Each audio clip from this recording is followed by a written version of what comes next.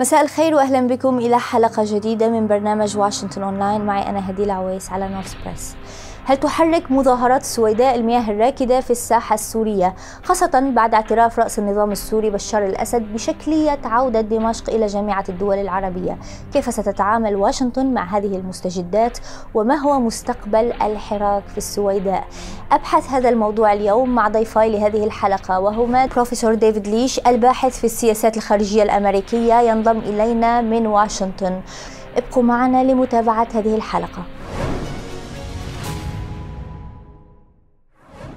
أبدأ الآن مع ضيفي البروفيسور ديفيد ليش ينضم إلينا من واشنطن. أهلا وسهلا بك سيد ليش. دعني أسأل عن تصريحات الرئيس السوري بشار الأسد حول التطبيع العربي مع دمشق. الرئيس السوري يرى أن هذا التطبيع وعودة دمشق إلى جامعة الدول العربية حتى الآن لا يزال أمر شكلي لا أكثر. يعني مثل هذا التصريح يبعث اليأس في قلوب السوريين المتواجدين في الداخل السوري. إذا لم يكن التطبيع قد غير مصير سوريا الاقتصادي ما الذي ممكن أن يغير يغير الوضع الاقتصادي المتردي والذي يتسبب الآن بمظاهرات عارمة في السويداء وما هي أهداف هذا التطبيع أصلا؟ Well, the normalization is going to take some time. I mean, Syria is really in no position with 90% of the public under the poverty line, with uh, many of their institutions destroyed, the city, the country still uh, somewhat uh, divided, to really accept any large scale aid, not even counting the stringent U.S. sanctions from the Caesar Act of 2020 on Syria. So many countries are going, even though they normalized and reestablished diplomatic relations with Syria, uh, they're going to be hesitant to really engage uh, in any significant way economically or in a business sense because of the threat of, of those sanctions and the, the fact that Syria really just isn't ready to accept the type of aid they really need because of the conditions there. So for the countries that normalized, you know, I think there are a couple of things that are at work. One more systemic, and the other a little bit more specific. The systemic reason has to do with not entirely, but in large part, with what they perceive as the retreat of the United States from the region. I've talked to a number of uh, Arab Gulf official officials uh, over the last few years and talking about U.S. foreign policy, and the words you hear most most often are that U.S. U.S. foreign policy is unreliable, unpredictable, uh, and um, and that the U.S. Uh, is constantly trying to pivot away from the Middle East toward East Asia or, or other problems.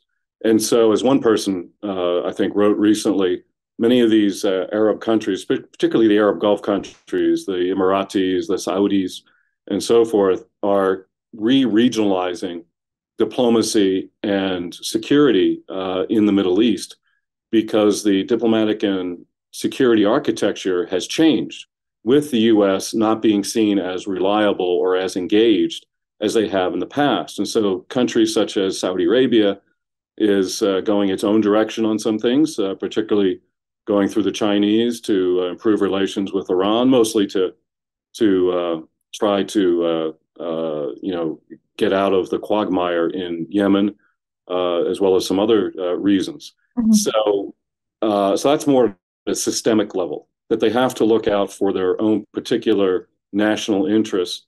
At a more specific level, you know, the earthquake created this opportunity for what's been called earthquake diplomacy to engage with Damascus on specific topics, particularly the Captagon drug trade, uh, which is, you know, Syria to some has become a narco state and therefore and exporting Captagon uh, to other Arab countries, particularly Jordan and the Gulf and they want uh, to engage with Syria to find ways to to mitigate this drug trade. In addition to the the refugee problem, you know, especially Jordan and Lebanon, they want to, uh, you know, return repatriate the refugees as quickly as as possible because the stress they're putting on their own economies, and Turkey as well is in, involved there. So for all these reasons, there's specific reasons to engage with Damascus uh, on issues that are are immediately important uh, but also systemically because the security and diplomatic architecture has changed in the region.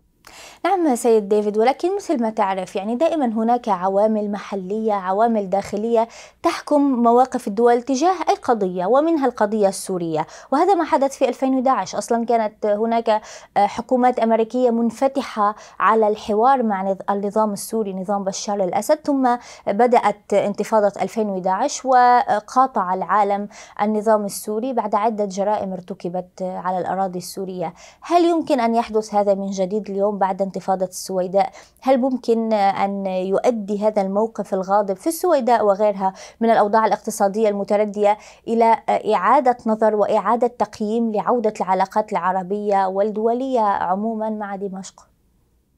Uh, I, I, think it makes uh, you know these countries wary, certainly a little more wary about improving relations with Damascus if these if these protests continue. Particularly, as you pointed out, the protests are in government uh, controlled areas or areas that have that have uh, maintained at least a you know, neutral relationship with uh, the government, particularly in Suwayda and and and so forth.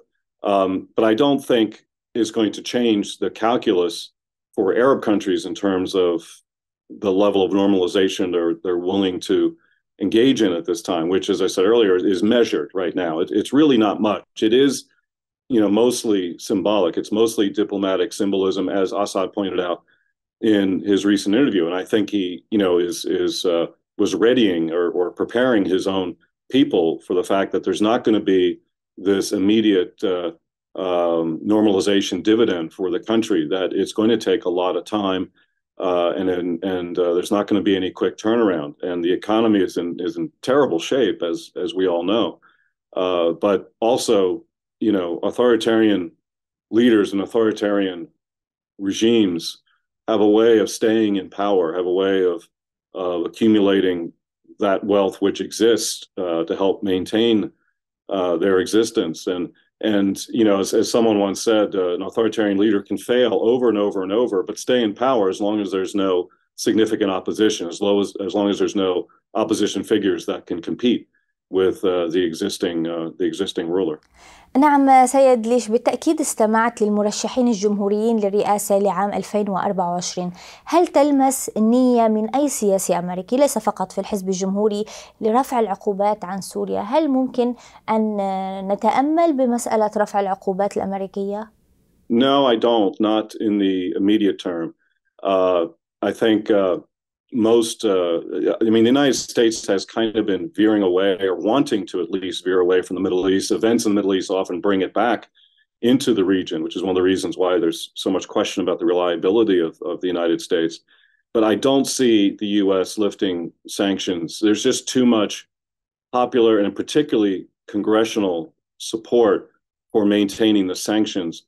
And syria is not that important to any particular administration whether it be republican or or Democratic to cross Congress uh, or the public uh, on an unpopular issue that could hurt their agenda domestically or in other foreign policy uh, areas. I mean, there was a bipartisan bill introduced uh, shortly uh, after uh, Syria was readmitted into the Arab League, which wants to prevent the Biden administration and presumably any future administration from normalizing relations or recognizing uh, w- w- normalizing relations with Syria as long as Assad is still in power, or recognizing Assad as president of Syria, and also even to put uh, allow the administration or compel any administration to impose sanctions on countries that do normalize with Syria. So that tends to be the sentiment right now in Congress, and unless Syria rises to the level of import where an administration or a president is willing to take on Congress or the public, I really don't see the sanctions being lifted uh, in, en masse anytime soon. Perhaps you know some specific sanctions for specific purposes may be waived by executive order, but that's it. نعم سيد ليش حضرتك تطرقت إلى محاولة الرئيس الأمريكي السابق دونالد ترامب سحب القوات الأمريكية من شمال شرق سوريا؟ وحتى الآن استطلاعات الرأي تشير إلى ارتفاع شعبية ترامب والجناح الانعزالي في الحزب الجمهوري. هل ترى في عودة ترامب احتمالية لسحب القوات أو ما بقي من القوات الأمريكية من شمال شرق سوريا؟ Yeah, that's uh, you know that's mostly with regard to Iran in terms of the Biden administration. Sending troops uh, to Iraq and to the Gulf uh, region. As far as uh, Syria, the Republican candidates seem to be quite split. I mean, there's the the Trump side of the equation that uh, really wants to withdraw from from uh, conflict zones, uh, wants to stop supporting Ukraine against the Russian invasion, and then you saw some other candidates most uh, ولكن ألا يجب أن تكون سوريا أولوية بالنسبة لأي صانع قرار أمريكي يرغب بالتخفيف من وجود إيران في المنطقة؟ whether they should focus, whether they can focus, or want to want to focus is a different equation. The Iranian footprint, as you indicated, is very deep, and I think even the Israelis uh, understand that. And there's no way that we're going to eliminate that. That's one of the reasons the Saudis, you know, they they finally I think realized that uh, to fight Iran and Syria is a lost cause. Let's try to engage with uh, Syria to the point where you know it's not. Uh, uh, where to a point where they still have some influence. I think the U.S. with regard to Iran and the Gulf is trying to reestablish its credibility in the Gulf, particularly with Saudi Arabia and with the uh, United Arab Emirates. Syria is really less uh, less uh, important in that regard right now. It was earlier on, but if we were really interested in that, going back to the Obama administration, we would have supported the Syrian opposition much more than we already did. But it was in secret negotiations with Iran over the nuclear deal, as the Biden administration is also doing. So if we put too much pressure uh, in Syria to remove Iran, those negotiations could unravel, which were, you know, very important to the Obama administration, maybe less important, but still important to the Biden administration. So I, I don't think that equation in Syria is is that important. But I think you know the Republican Party. There's, as you mentioned, I mean, there's wide variety of views on on uh, on foreign policy, isolationism versus you know the Trump sort of isolationism versus you know he's even talking about putting uh, uh, tariffs on imports in the United States, which is I think very very scary. but then you have Nikki Haley last night, who's very much an internationalist and represents what's left of the internationalist wing of the Republican Party, and I think she would be someone that that uh, you know would continue or certainly be an advocate for continuing the U.S. presence uh, in Syria. سمعنا من المرشحة نيكي هيلي المرشحة الجمهورية لانتخابات الرئاسة 2024 آراء تشجع على تدخل الولايات المتحدة بشكل أكبر في الشرق الأوسط وفي مناطق أخرى حول العالم وهو رأي فريد لا نسمعه كثيرا اليوم من الحزب الجمهوري هل لهذا الرأي شعبية اليوم لدى الناخب الأمريكي؟ Yeah, it, it's difficult to say. I mean, you know, the Trump uh, view on foreign policy and Trump himself tend to dominate, obviously, the the Republican Party, which tend, you know, and that view tends to be much more isolationist, isolationist.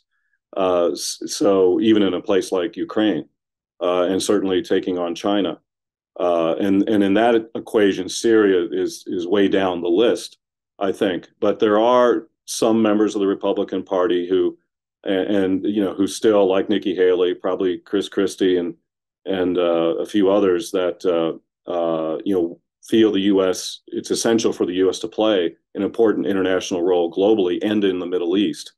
So I think you know they would view with favor staying in Syria, but whether they have popular support, probably not. I would say the majority of the Republican Party, you know, goes with Trump's view on foreign policy. However, that may not play nationally in a general election. And whoever's if if Trump is the Republican nominee or someone like him, uh, and if you know it could go in a very isolationist way. If the the uh, Democrats win, Biden wins again, who's much more internationalist, although with much more of an emphasis on human rights, which has got him in trouble with some of the with some of the uh, Gulf uh, Arab sheikdoms, uh, it would the internationalist view and, and supporting our our alliances and supporting our partners in the Middle East and outside the Middle East would continue. شكرا جزيلا لك ضيفي البروفيسور ديفيد ليش كنت معنا من واشنطن. My pleasure. وختاما شكرا لكل من تابع حلقة اليوم من واشنطن أونلاين ألقاكم في حلقة جديدة الأسبوع المقبل إلى اللقاء